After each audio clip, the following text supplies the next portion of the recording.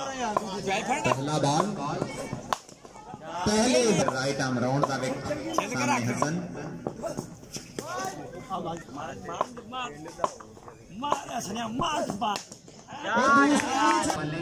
दो छक्के लगे उनको अब राउंड चेंज किया। ते तीसरा बॉल करेंगे हसन को